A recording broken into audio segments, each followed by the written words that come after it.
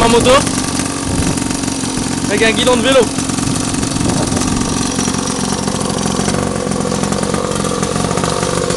Attention Attention, désolé pour le dérangement.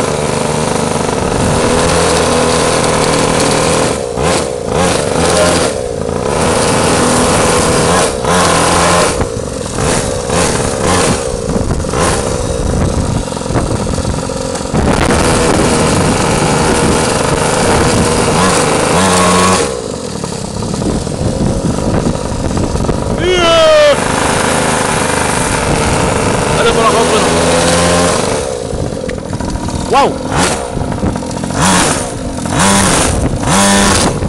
Nervosité!